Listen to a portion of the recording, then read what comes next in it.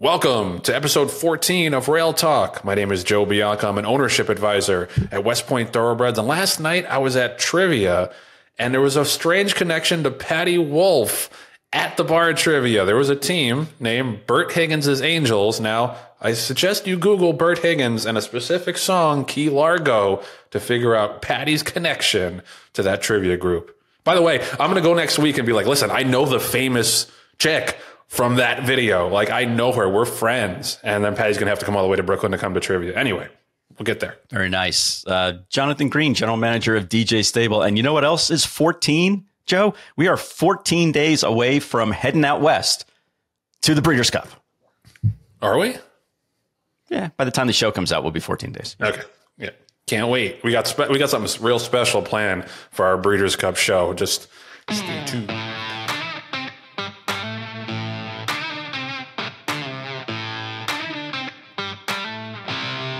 Welcome to another episode of Rail Talk. Please like this video and subscribe to our channel as we strive to keep bringing you consistent, honest, and transparent industry content.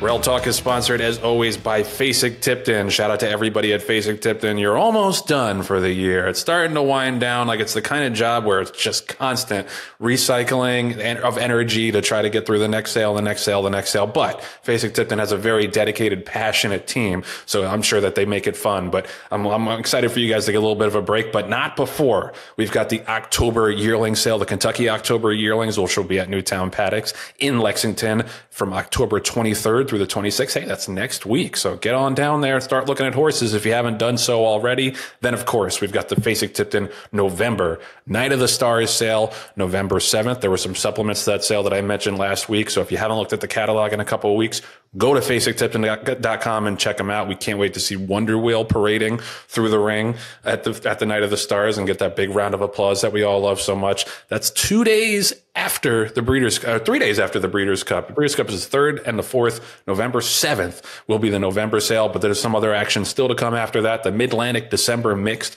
and Horses of Racing Age sale, which is December fifth. Also the Saratoga. Saratoga's October sale with the weanlings and the broodmares is going on right now. I believe our old friend Brian DiDonato sold the topper so far in terms of weanlings out of Dawn Lightning. So shout out to Brian. I don't know if he's a listener, but if so, we're proud of you, buddy. Um, and if not, we're still proud of you. And spinning forward to 2024, first major sale of the 2024 calendar is the Kentucky Winter Mixed Sale, which will be February 5th and 6th. But all eyes are on Lexington for those two marquee sales coming up next week. And then the November sale. Cannot wait to see all those star mares in the ring. Not a ton of news this week, so we're just going to do kind of like a rapid fire pardon the interruption type of segment here with just some little, little news bits of the week because uh, we are going to talk to Bret Jones in a little bit and we're looking forward to that. But like I said, there's a little bit of a, a lull in, in terms of the racing action as we get ready for the Breeders' Cup now in amazingly less than three weeks. That's year went by fast, Jon.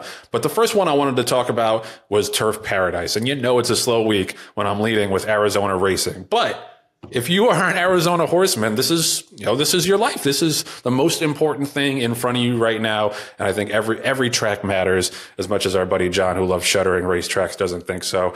Uh, there's been a little bit of a back and forth going on, um, between the Arizona horsemen and the, the, uh, the racing, Arizona Racing Commission. Nobody covers this stuff better than our old friend TD Thornton over at the TDN. And, you know, he, he, he, he uh, had a story last week where basically the, the, Turf Paradise was going to be knocked down. The old owner sold the track. The wrecking ball was going to come for it. It was just going to be a developed property. But then a guy stepped in and said that he wanted to buy it and revive racing there. And it's just, it, it, it seems like less and less of a possibility as time goes on and some of the details are worked out because Turf Paradise is in such bad shape that they just, they, they can't run right now. They need major, major upgrades. Like if you go through, through, you know, some of the details in this story, it's like, you know, the, the rail has, has issues that could be dangerous if a horse were to crash into the rail. Like the grandstand obviously needs major reconstruction and it's just, you, you can't run there right now. So the question is, we're going back and forth, the horsemen and the racing commission, as to whether or not this sale is going to actually go through and racing is going to continue there. And then, if, even assuming that does happen, whether or not it's going to be the track is going to be ready to race horses in the next couple of months, because that seems unlikely at this point. But there was one, there, there was one little little wrinkle that I wanted to, to mention that that TD brought up, and I, this is why I love TD because like he doesn't mince words. Like in his headlines, he did his weekend review this past week. Goes the weekend review. HB HBPA tries to derail HISA in federal court but also wants its help in Arizona. And ain't that how it goes with these anti government types? It's like I was on food stamps and welfare and nobody ever helped me. Like that's that that to me is, is the general attitude where it's like you're you're all about the you know the government getting out of your hair and, and you know getting out of your life until you need something until you need somebody powerful to come in and help you because that's what the Arizona HBPA is trying to do right now to get HISA to come in and step in and expedite the process to where they can they can be racing again in the next couple of months. And I'm just going to read, read a quote here. Uh, I have a recommendation that maybe we ought to ask HISA to come back in and take a look at the track to maybe get a step ahead of some of the delays that we're encountering now. If we get HISA to send somebody in to look at the track, we can see what's going on, going to have to be done before anybody will be able to race, whether it be current owner, future owner, or whatever. That that's a quote from Lloyd Yother, who's the president of the Arizona HBPA. Jon, I thought we didn't want the government in our business.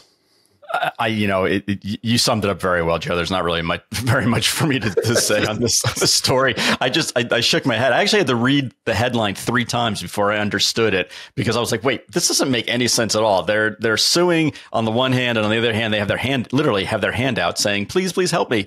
Um, it, it was, it, it just blows my mind that, that, that people can can do things like that. Um, that being said, I still really feel like that this isn't going to come to fruition. That that mm-hmm. eventually cooler heads will prevail, and, and they'll figure out that the land value is worth more um, than it is as a racetrack. Unfortunately, um, but you know we've talked about this before about you know some of the racetracks just actually need to fall by the wayside, um, and it looks like that's going to be the the way of of Arizona, um, you know, going forward.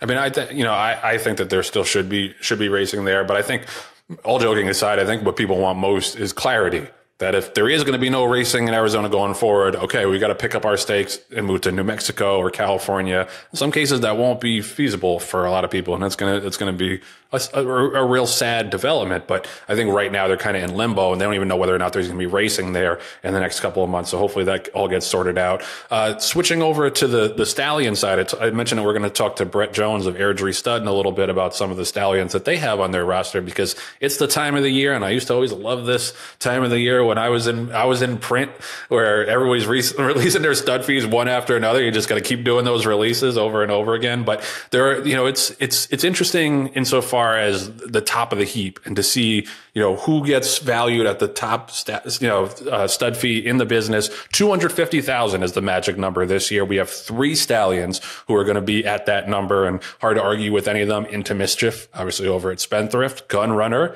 at Three Chimneys, and Curlin at Hill 'n' Dale. So those are the big those are the two hundred fifty thousand dollars stud fee horses. I think Tapit is still going to be at one eighty five or so. Warfront is a hundred thousand. That's that's a good value to me. Warfront only at 100K, relatively speaking.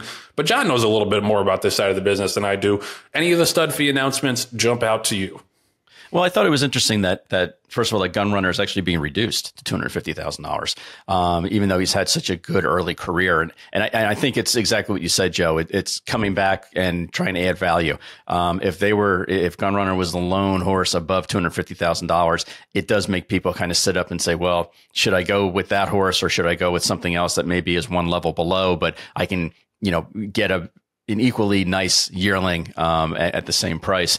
Uh, the one thing that, that that stood out to me this year more so than other years, Joe, isn't stallions that were increasing. Um, you know, and, and you mentioned a couple of them uh, uh, that, that that have gone up in price. Uh, not this time has gone up in price. Um, Constitutional probably go up in, in price a little bit. I would think. Nyquist went from fifty five to eighty five thousand. So you know, some of the some of the usual suspects that have progeny that are running in the Breeders' Cup, um, you know, in a couple of weeks, um, they've definitely gone up in value. The thing I thought was most interesting, though, is in the past, um, you would breed to a freshman sire and the farms would have a little bit of a scramble to try to get you to come back for the second year. And, and there's a lot of reasons why. Um, but this year in particular, because uh, personally, because I think that this group of new sires from 2023 was so strong that the majority of farms took a step back and actually discounted those stud fees on those new stallions um, for 2024 for the horse's second year. So, for example, um, you have uh, Life is Good that's gone from 100 to 85,000. It's a 15% discount.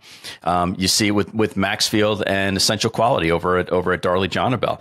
Um, and and we can kind of go through the the list of second year stallions and usually they've held value, but I think the farms are getting ahead of the curve and saying, you know what, if you bred it to Life is Good for 100, it's a bargain at 85,000 and I would agree with that. Um, so why wouldn't you breed another mare to them? So I think they're trying to keep the quality of mares up at a certain level. And by offering a 10 or 15% discount off the freshman year, um, I, I, think that's a really incentive, incentivification for the breeders to do that. So um, I'm, I'm excited to see there's still a couple of farms that are going to be announcing. There's a couple of holdouts. Um, I think Lane's End is holding out Flightline and Quality Road um, and, until they can make a bigger announcement. Ashford, I think, is just announcing their stuff tomorrow um, as far as which stud fees um, are going to be increased. Justify is they've announced is going to be doubled. That's the one I wanted to bring up too. Like yeah. for Justify is going from a hundred thousand to two hundred thousand, and that's interesting to me because of the kind of divergence that he and American Pharoah have had. And American Pharoah hasn't by by any means been a failure failure as a stallion,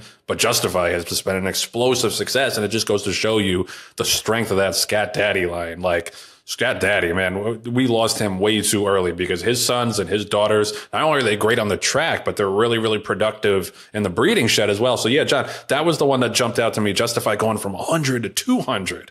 Right. And, and, and again, no pun intended, you can justify it because he's had horses that have won graded stake races worldwide, worldwide. Um, and, and you talk about Scat Daddy, and, and we can kind of divert onto this. You know, Joe, if you look at some of the top Euro stallions, they have scat daddy influences as well. So that that's another topic for another show. But um, mm-hmm. it, but you know, to me, it, it's farms are actually getting ahead of um, the problem of of coming back and and trying to get people trying to get breeders to uh, bring their mares back. And I think it's because the po- mare population is has has decreased, and they need to come up with new ways to do it. A few years ago, they changed um, the way that you paid. It used to be live foal, and now it's live foal stand and nurse for thirty days. So you know you get to hold on to your money. I think I think that there's so much competition now for the breeding dollar that they have to come up with new ways to uh, incentivize people to come in. I do want to throw a shout out to, to, to one website that I use a lot.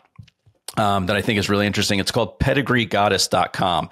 And the reason why I like pedigreegoddess.com is because the the people behind the website update the website almost a couple of times a day. Um, as soon as there's an announcement of, uh, of, of a new stud fee, they immediately change it and they have it ranked by um, you know by by uh, denomination. Um, and you can also go back and you can see what stallions stood for in previous years 23 22 that goes all the way back to 2012 um, so you know i know they're not a sponsor but i really like using um, ann peters website pedigree goddess and i recommend it to, uh, to, to our listeners as well and does a great job. You know who else does a great job is Arion Pedigrees. Arion Pedigrees, who is a sponsor, and I'm sure they have the stud fee information on there as well. So I just wanted to throw them uh, a quick plug. But Jon, you know what it would make it easier for people to to find mares to breed to if stallions weren't breeding 250 mares a year in certain stallion stations, and that's that's all. That's all. I'll leave it at that. Yep. Again, another another topic for another show for sure. yep.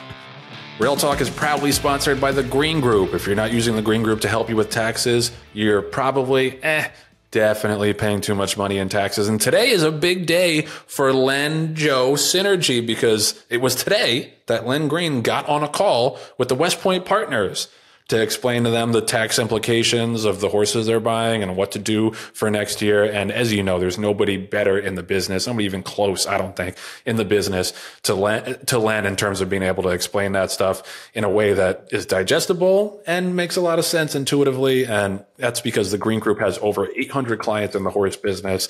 Len and Green and the Green Group are, have been owners for more than 40 years, have owned some of the top horses in racing and breeding. Uh, Len, as a stallion, produced a couple of pretty decent sons as well.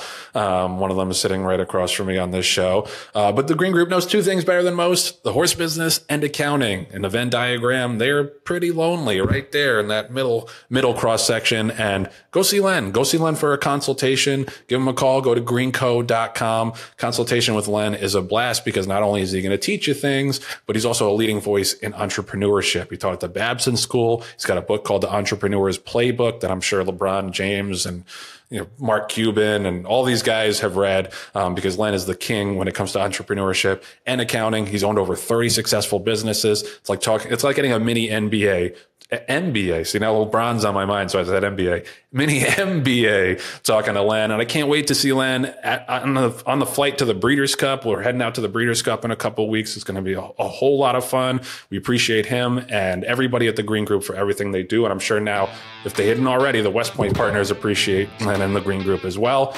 Go to greenco.com, check them out. Tax season will be here before you know it. So we're so thrilled to bring this next guest to the Rail Talk family, to the Rail Talk stage, the Vice President of Airdrie Stud, Bret Jones. Welcome to the show. Hey guys, thank thank you very much for having me. I appreciate we're it. We're so glad to have you, and you you know you're one of the most interesting guys in the business to me. Just watching you from afar, it's nice to get to know to get to meet you and get to know you a little bit. Let's talk a little bit about Airdrie because I always find it interesting uh, the stallion farms that can't necessarily compete, you know, in terms of getting those top, top, top, top horses like Coolmore and you know Gainesway and these you know these stallion farms that have unlimited budgets. But you've carved out a really good niche for yourself in the business. Like we had a big, you had a big weekend for Cairo Prince, who's been one of your star stallions.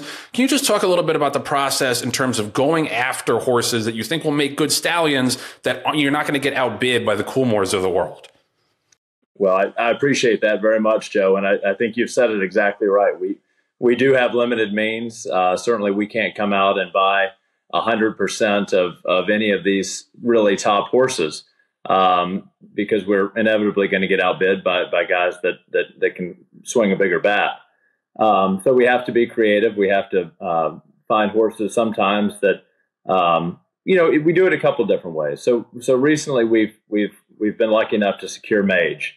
Uh, that was a big time deal. That was a horse that obviously every major stallion farm looked at. Um, certainly expressed interest would would be my feeling, um, and that's a horse that we've uh, now are, are, in the process of syndicating, putting this incredible syndicate together.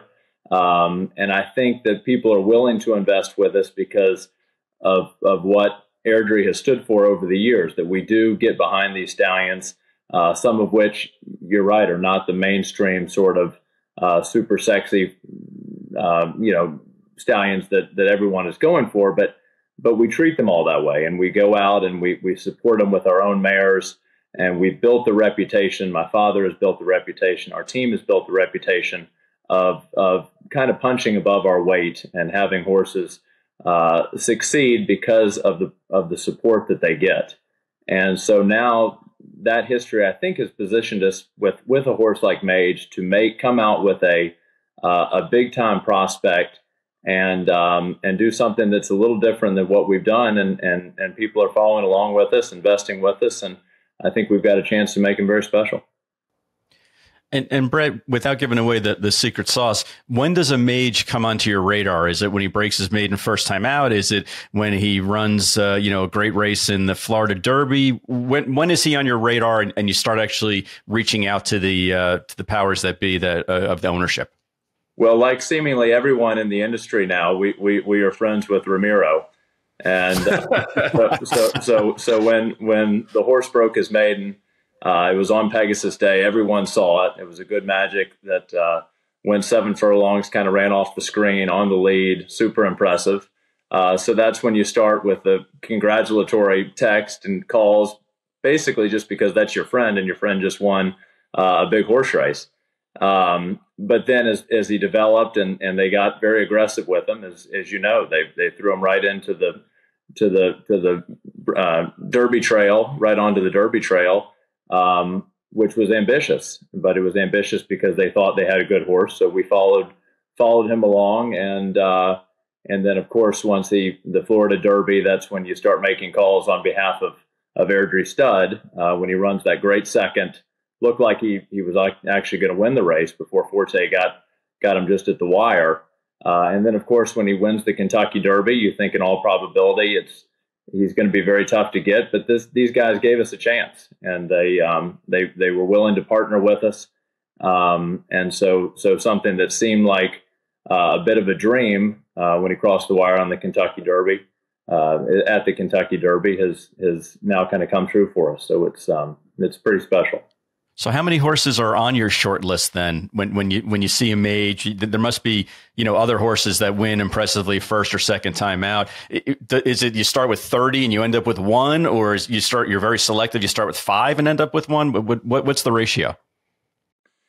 It, it's just it's totally dependent on on the year. I mean, it, it's you're you're trying to find that horse that can be the right fit, that can be a realistic horse uh, to bring in. Uh, but but really, your list starts when you when you see that race that's sort of that uh, you know I, I don't want to use profanity, but but it's it's that it's that holy cow kind of moment um, when you see one do what he did on on Pegasus Day. When you see one that wins that impressively, that moves like that, that that looks like they could be a real star, then then they're instantly on your radar. You follow them along, and and like any uh, you know what I always equate it to is is a college basketball coach. That the way that you you see a, a, high school, you hear of a high school kid who's who, who's working his way up the ladder and, and looks like could be a great recruit for you. So what do you do? You reach out to their family. Uh, you you you show interest to the to the kid, and and you you start sending letters. You start watching his basketball games. You start trying to do everything you can to get him into your program. Uh, and that is the that is the process that, that this takes when you're when you're chasing a stallion. By the way, feel free to use profanity on this show. I mean, no, don't do I, it. I know, I know you guys are okay. don't do it if you don't want like your family, your friends to hear it, but don't do don't not do it on our account. So that's just that's just one of the rules of the show. Um, but you mentioned you grew up in, in the industry. I always wonder with, with, people like you who have taken it and run with it the way that you have. You know, obviously it's easy to say now like you were always born to do this, but was there ever a point that you wanted to go do something else before coming back to racing and breeding? There there really wasn't, Joe. I just um, you know I, when you grow up in in Lexington, Kentucky, and and you've got Keeneland in your backyard, and and I, I just fell in love with it at a, at a very early age, and and going to the races, and really you know it it started in a couple different places for me. It was it was going out into the to the fields with my dad when he'd take me out to to see the foals and just be you know I I, I recognize how insanely lucky I am to have grown up at Airdrie and and to be able to grow up in this just I mean I, I really think it's the most beautiful place on earth. Um, and so with that backdrop, you're either going to fall in love with it or you're going to run in a in a very different direction. And right. I and I fell in love with it. And yeah. then I would go to the races, and then I I developed a, a fairly early uh, gambling addiction at probably about the age of 11. I think I've gotten past that now. I think it's in my rearview mirror but that but that's how it started was was was betting the horses and and the excitement of the races and the excitement that comes with with going to the track. And and then of course in in Lexington as you guys all know it's there's there's no place more sh- social or more fun than than Keeneland Racecourse. So um, it was that combination. And dad always said you know he he he, he never pushed me to be in the business and, and I'm thankful they didn't have to yeah, and, and and your dad made such a, a huge imprint on the on the industry um, then and and now, and the way things are done, and, and the way things should be done. Um, and and I always enjoyed my my time with him. Uh, you know, being that that you're the next generation coming in, how difficult was it to kind of get out of his shadow and do things your own way? Yeah, there, there's that is when you when you go to work with your dad. That that's part of it. Th- thankfully, that's a, that's a shadow that I I never had an issue with with being in because we because of the relationship we had, and that's another thing that can go, you know, one of two ways. Uh, that's not easy always to work with your dad, and it's another way that I recognize how lucky I've been that Bret, we Bret, will you just just for my own sake will you repeat that one line again? Uh, just just so I could tell my dad that you know that it's not easy it's not easy working for your father? Sorry I didn't mean to interrupt your flow. Go ahead. Sorry. you're, you're good buddy. But it, it's you, you we were able to work together and it was it was very it was very obvious who who, who the boss was and who, and who the listener was. And and I and I was the listener. And and as you grow up and you you do establish your own ideas and and dad would let me have those ideas. He would let me come with the stallion uh, and say, "Pop, I think we really need to be looking at this." He might disagree, and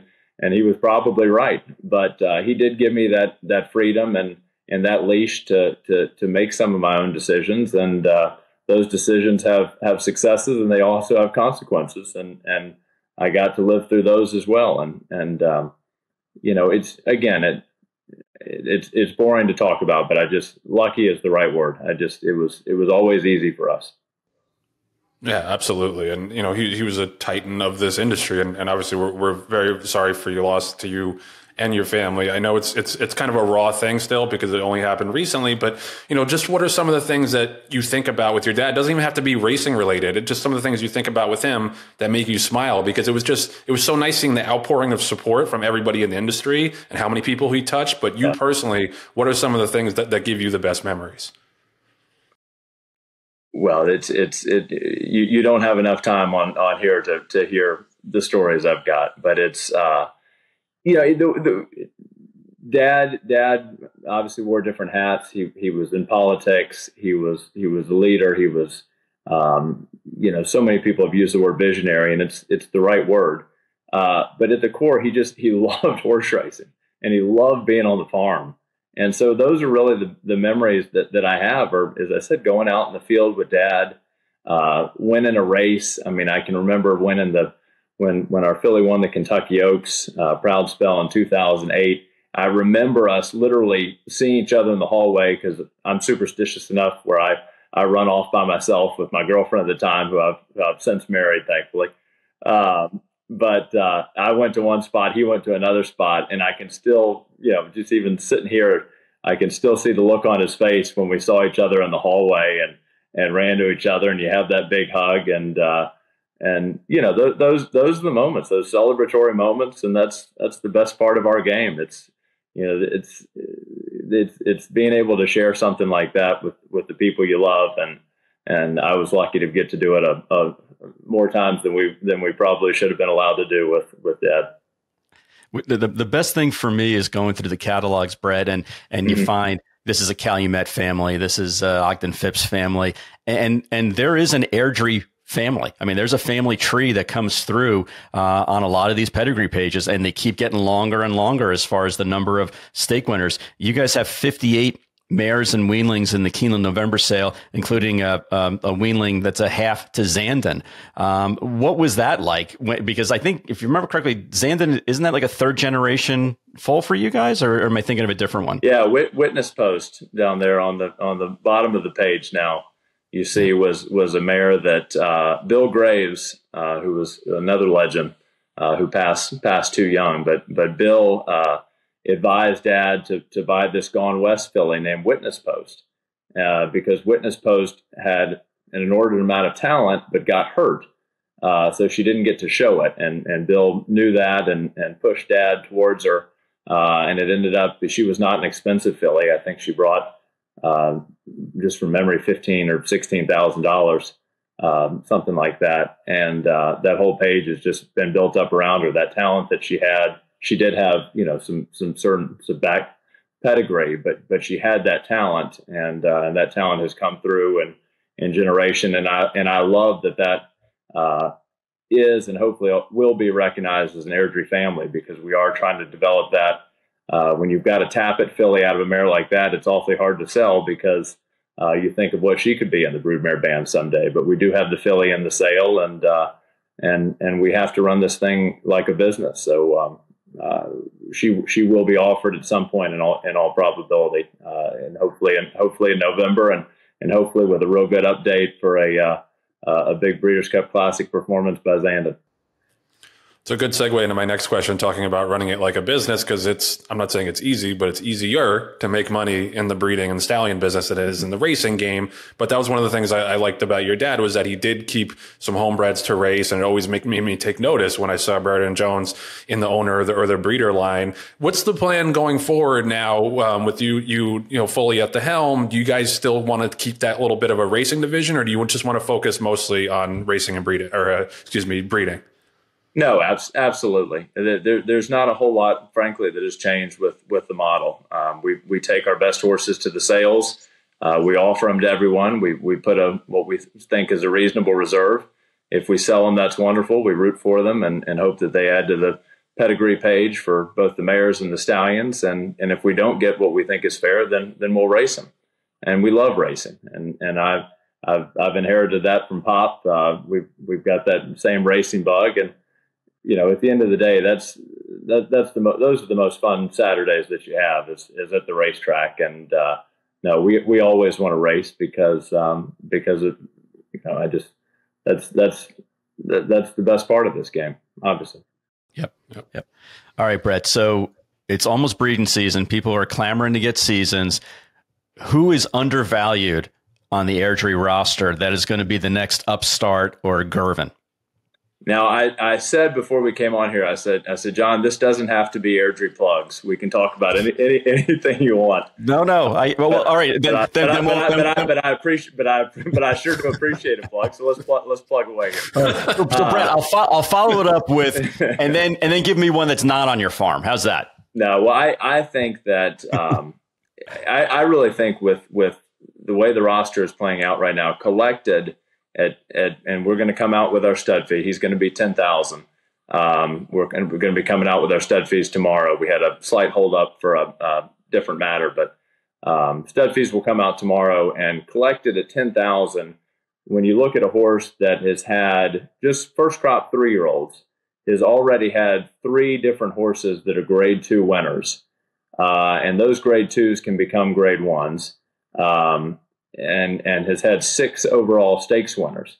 That's a great body of work for a for a horse that you know that young. He's getting a little bit lost in the shuffle because of how incredibly strong uh, that sire crop is. So when when you look at the rankings and you look in there and you see uh, Good Magic and you see Justify and you see Bolt d'Oro and thankfully you see Girvin, uh, one of our horses you know that's a really really tough group to compete in but he's really he's doing that. Six stakes winners three of them grade two winners and that city zip line as precocious as, as city zip was so many of his horses have gotten better with age and i think that's exactly what you're seeing with with the collected. So he is a horse that i would be long on uh, and, and that i think offers real value at, at 10000 I'm so glad you said collective because I wanted to plug a West Point horse, Northern Invader, who I'm sure you're exactly right, Joe. And I, I, should congratulate you as soon as I came on here. Right, that's exactly right. Yeah, no, he's he's a real nice one too. So we're really really excited about him. Uh, you know, another one that I really love is, is Upstart, and can you just he's he's one that I think has been like a slower burn, and he's starting to come on like a lot in the last couple of years. Uh, can you talk a little bit about Upstart and what stood out uh, to, to you for, from him and his racing career? Yeah, I, he was. You know, when, when, you talked earlier, and you're very nice about horses that aren't super obvious. Uh, Upstart was super obvious right up until about the Kentucky Derby. Um, if you look back at his races, what a top two year old. He's one of the best two year olds in the country. He placed in the in the Champagne, the Breeders' Cup Juvenile, even though he was, you know, A.P. Indy line by Flatter Flatter's an exceptional stallion, but you don't expect him to be super early. This horse was early. Uh, and then the races he was running at Gulfstream on the Triple Crown Trail were were as good as any horse on the on the East Coast. When he won the Holy Bull, he ran a very high number, uh, a very high Beyer, a very low sheet number in the um, Florida Derby, won second, uh, and but just never came back to that form. And after a uh, a year of not coming back and, and having just an okay four year old, uh, then, you know, as you say, the bloom was a little bit off the rose and, and you had to kind of remind people about just how talented he was. So that's, that's when we went for him. Uh, thankfully, we're able to get him as a stallion, hoping that what we saw in those early years were what he was. Uh, and I think, and I think it was because you're seeing now, you know, he started at just ten thousand dollars. He didn't win a grade one on the track, so he had to kind of make it the hard way. We certainly got behind him. Our partners got behind him. The syndicate, uh, we sold some shares and put a group together. Um, but now, in, and he has improved his mares so dramatically. If you if you look at the average earning index compared to the comp index, which is a is a metric that we use a lot, because it, it, it, generally, if you think a horse is a good stallion, those numbers match up and they're and they're and they're on there. Uh, he has improved his mares, and now these last two years, with all the success he's had on the racetrack, now he's finally getting these quality mares at at thirty thousand dollar books, and and it's very very exciting for us to think of what he can now do. Now, given the opportunity uh, of a really top stallion, and uh, I think he's I think he's going to run with it. I just want a quick follow up, and that's not even really a question, but it just must be so cool, you know, owning a stallion, running a stallion farm. They must all be like your babies, like all of the horses that are running that are by your stallions. You get to root for all of them. Like, how cool is that? That's exactly right. You get the you get the entries every day, and and you have all these different rooting interests, and uh, we share that with the farm, and we've got a text thread uh, with with our guys that you know every every from the one o'clock maiden to the 530 stakes race we're, we're texting back and forth and getting all pumped up about about everything. And and again that just that just makes it so much fun when you when you've got these rooting interests and right. you know there are days where it's not a lot of fun because they're not running very fast but but when it when it goes right there's nothing better. Yep. And and and Bret, one of the things that I've enjoyed about our relationship is that, you know, I, I consider you a, a genuine person. You genuinely want to help the industry. You genuinely want to make things better. Um, you're on a number of boards and you were recently elected as a new member for the Jockey Club. What do you think is, is going well right now in the industry and what things do we need to improve on? Well, you always need to improve and, and you know that. And, and, what is what is going right, and, and not everyone will agree with me, but but I think finally establishing HISA, I know there have been growing pains, but to me that is a tremendous victory for the industry. And there are going to be growing pains, and there are going to be moments where we wish something was was handled differently.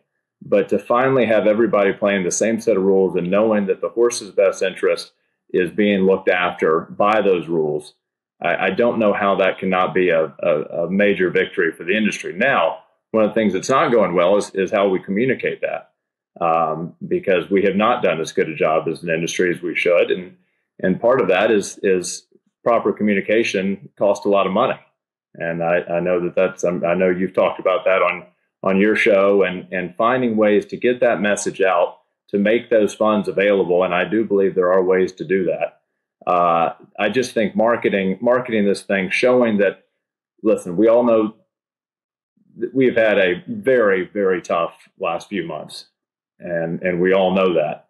But showing people that progress is being made, that people do love these horses, that that the people that work with them, it, it breaks us apart when when things go wrong. Uh, showing showing that side of the industry and and showing people the, the work that's being done uh, is is what we have to do and and what we're trying, but but but we're not succeeding to the extent that I think we should, that anyone thinks we should. Yeah. Yep. No, couldn't couldn't agree more. Uh, last question for me. I appreciate you coming on, spending some time with us. You, know, you mentioned growing up in the industry. This was something you always wanted to do. You've got young children. Have you had any inclination yet, whether or not indication whether or not they're going to want to be in the business, or is it too soon?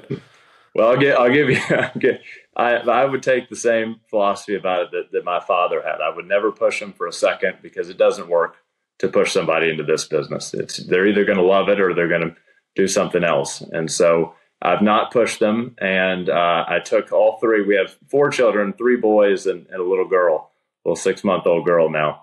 Uh, but the boys we took to Keeneland the other day. We had two partnership fillies run, uh, and they both ran very slowly.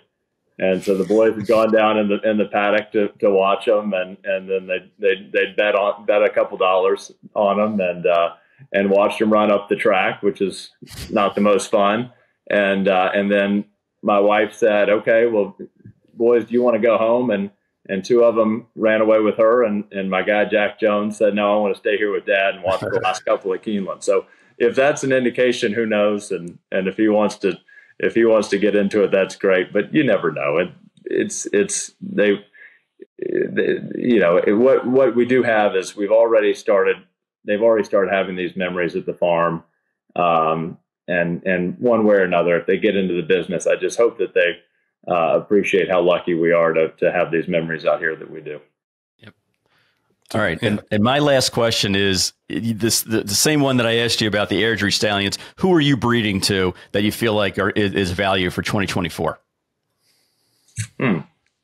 Well, I, um, uh, to be very honest, I have not. We have not done our matings yet for next year, so I, I don't know. I don't know the answer there.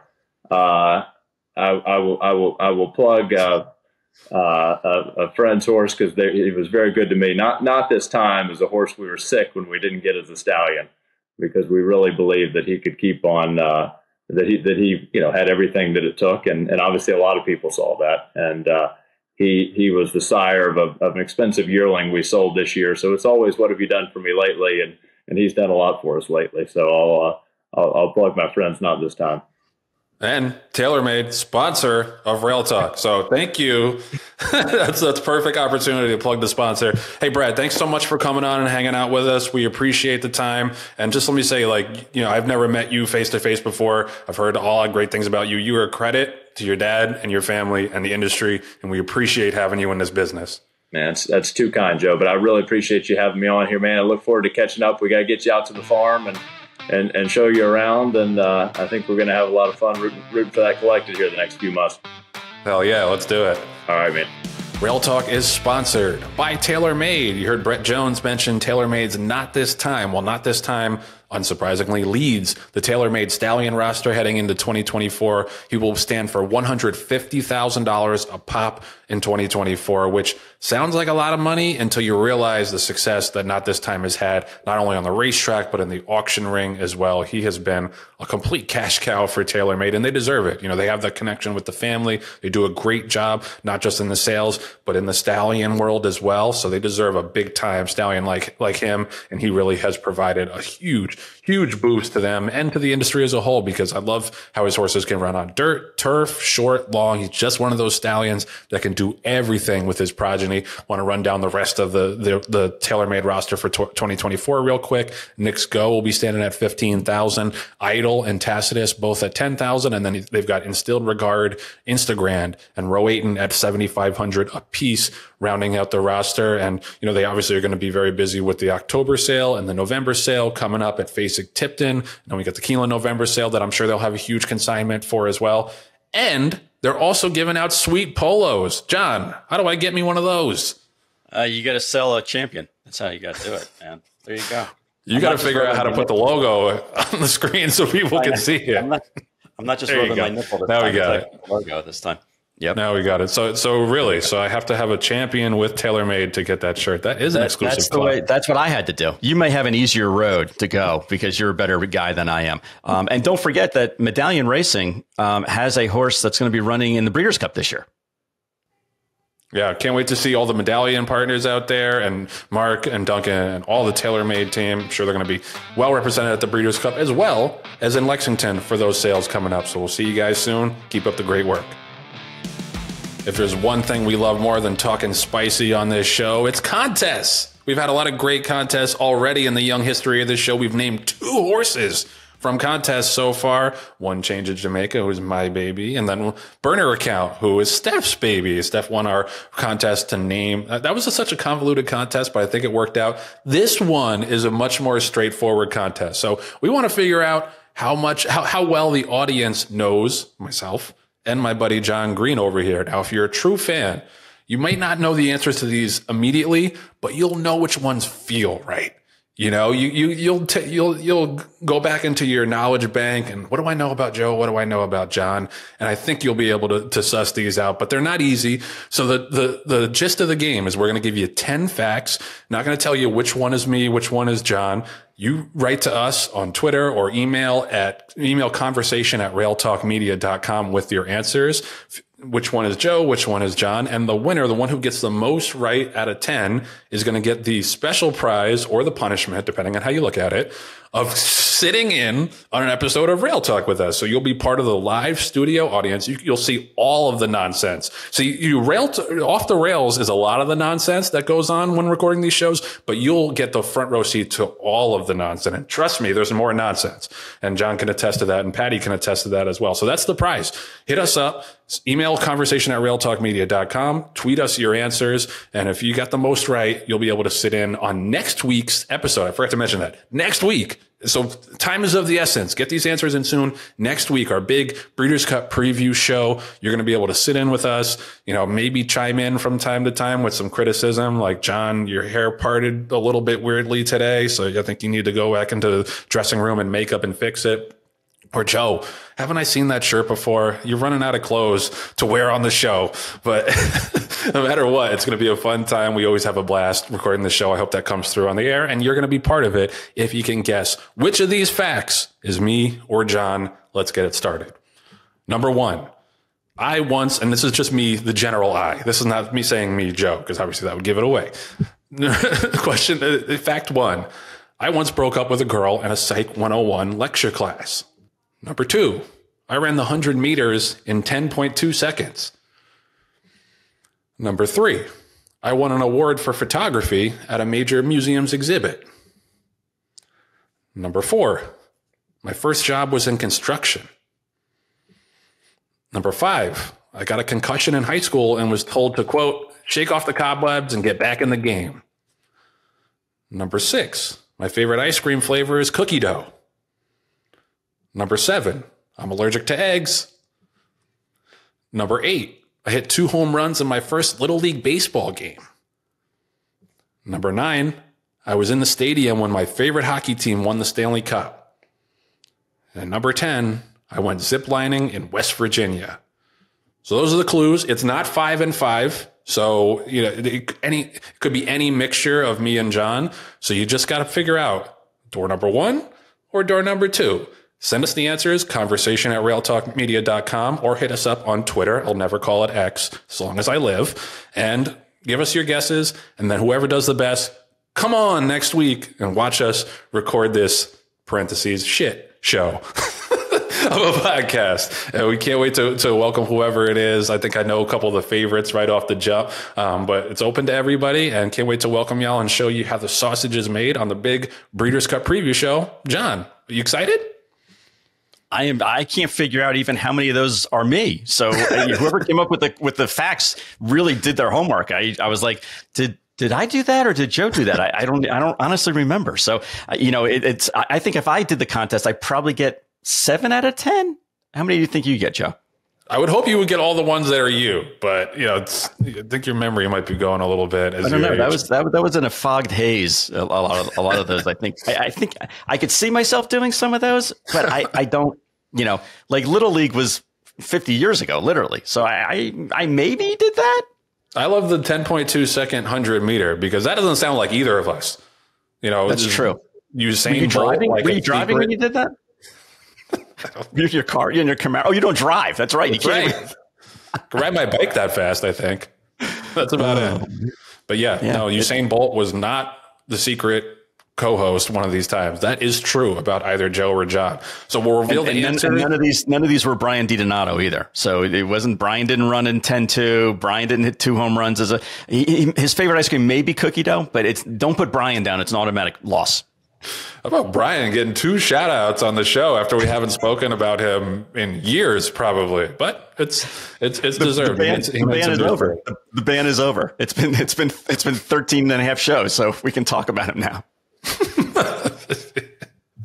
All right, so that's uh, that, that, those are a lot of a lot of very very interesting tidbits about us, and we will reveal the answers next week. I guess next week, once we've picked the winner, we'll reveal the answers on next week's show. I'm so glad I got through this whole thing and remembered how the contest works this time because that's always the first hurdle when we do those contests. Does Joe remember what we right. talked about and what, how the contest works? But it, I do. I did. It did. I do.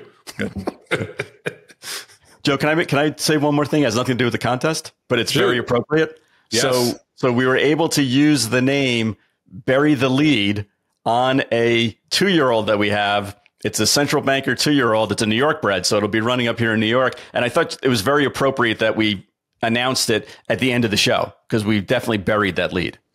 Now the question is, Jon is a journalism school graduate. That's not one of the, that's not one of the facts, right? No, okay. No, just, Jon just is a I, I minored, in, minored in mayhem. I forget what Patty wrote. I minored in something. Anyway, Nonsense. nonsense, nonsense. I, I did. Yeah, I did So wait, so did you use the correct spelling of lead? Yes, a- and and it's B U R Y space T H E space L E D. Did it? Yeah. Do you know Got why? it. Do you know why it was spelled that way? Why? I had to look it up. So basically, because if they had it bury the lead, they also at the time were using lead in their printing. So they couldn't say bury the lead because it was also spelled the same way as lead. So they changed it to L E D E. Wow. That, that should be one of the fun facts for the contest.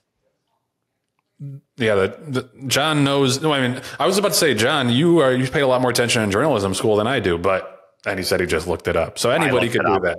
I looked it up. Siri, how do you spell bury the lead? Right, I knew how many letters it was. show. I knew how many letters it was before Siri told me. This is this is this is this is unraveling quickly. But anyway, get those answers in, and we'll see you next week. All right, so that's going to do it for this episode of Rail Talk. Please, someone do something interesting news wise next week so we have something to talk about for when we have the winner of our contest sit in on the show and watch the magic happen. We can't wait for that. Get those answers in, and we'll pick a lucky winner next week. Thank you to Jon Green for, as always, for being my co-pilot here. Thank you to our producer Patty Wolf, our associate producers Anthony LaRocca, Aaliyah LaRocca, and Nathan Wilkinson. Shout out to Bret Jones as well for stopping by. I Really enjoyed talking to Bret, and as always, thanks most of all to you, the viewers and the listeners, for tuning in to us. We'll see you back here next week on Rail Talk.